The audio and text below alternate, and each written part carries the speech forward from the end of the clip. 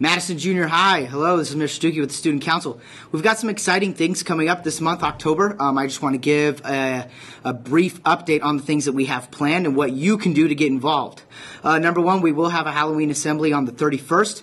Uh, the time is to be determined still, but please be ready for that. It's going to be a lot of fun.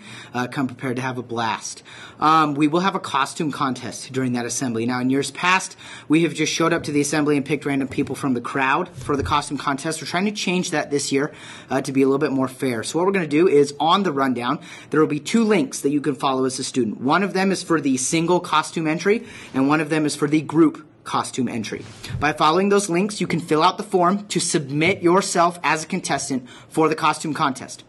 Over the course of the month, the Student Council will review submissions, and at the end of the month, before the assembly, we will choose 10 people for the single costume contest and 10 groups for the group costume contest. Those 10 people will be notified that they've been selected to compete, where then in the assembly, we will call down those 10 people and we will have the student body vote for best contest. There will be a winner for single, a winner for costume, and we're also going to have a teacher contest as well for the different departments. So please read the instructions on the form for how to submit and what the criteria is. Okay, you gotta make sure you follow dress code. Can't have things like masks or face paint, and the costumes obviously need to be appropriate. Group costumes can be anywhere from two to ten individuals, um, and like I said, we'll sort through them throughout the month. So go ahead, follow those directions. We're looking forward to it. We've got some dodgeball competitions uh, later this month, so uh, stay tuned for updates on that. We're looking forward to a fun October. Hello, Bobcats. Welcome to the second day of Start with Hello Week. Today's focus say hello to a new friend. Let's start today off with a joke. How did the barber win the race? He knew a shortcut. Here's your daily rundown.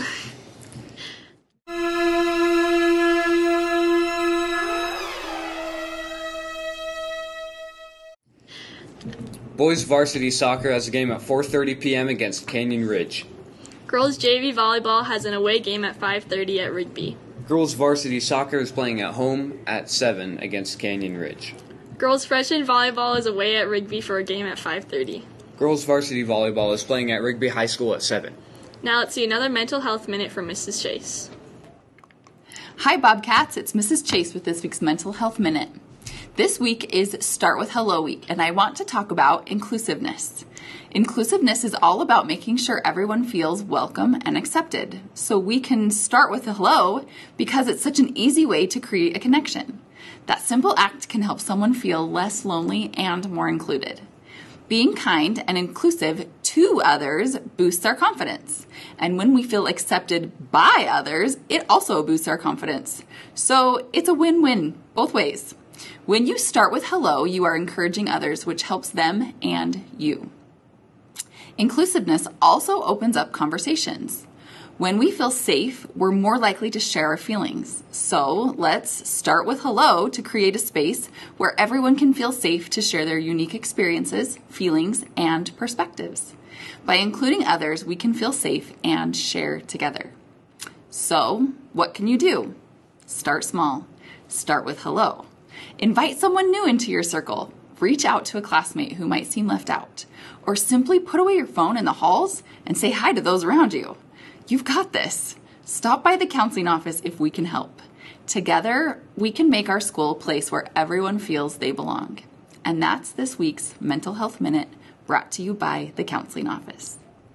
Thanks, Mrs. Chase. A reminder that parent teacher conferences are Wednesday and Thursday from 4 to 7 p.m. after school. Friday is the teacher in service day, so all students have the day off. On that note, have a fantabulous day, Bobcats. Now please rise, remove any hats, and join us in reciting the Pledge of Allegiance. I, I pledge allegiance to the flag